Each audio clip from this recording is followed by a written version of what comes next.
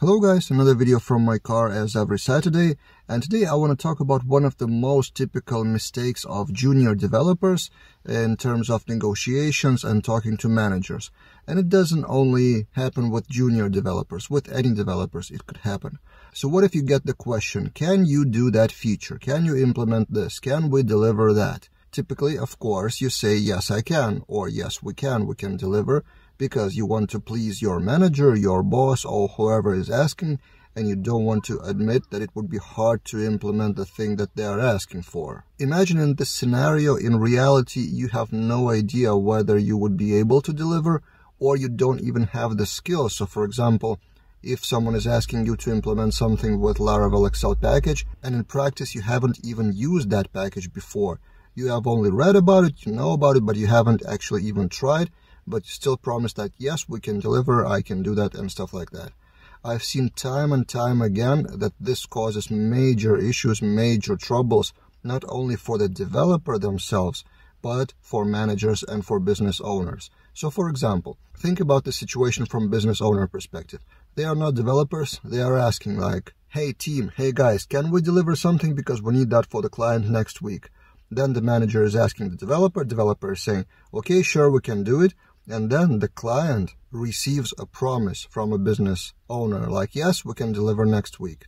And then if developer cannot deliver on time, imagine what happens. The business overpromises and doesn't deliver, then the trust from the client is lost, and then it means financial loss. Of course, it's a pretty drastic example, and not every time it happens this way, but just think from a business owner perspective.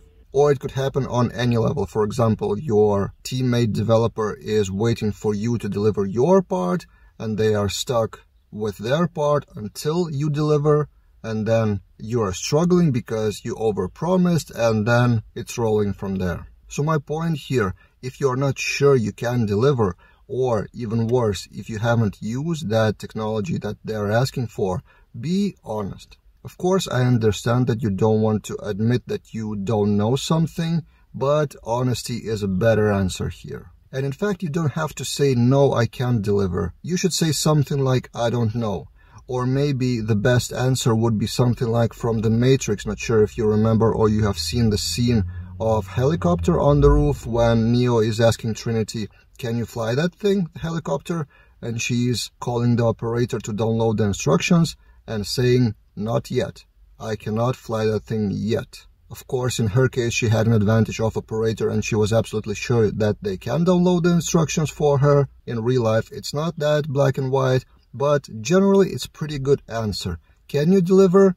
I'm not sure, but I will do my best and I don't have experience in this and that and I would need the help for someone else, from someone else. And let's plan how can we deliver or maybe we can deliver not in full but only some parts. Let's have a conversation about it. That way you admit that you don't know something but at the same time you promise to do your best to deliver what you can and you don't overpromise means that the business doesn't overpromise to their clients and you all live in reality instead of living in a dream world. So in general, don't be a yes man because it doesn't serve anyone, including you or your managers. That's my message for today. That's it and see you guys in other videos.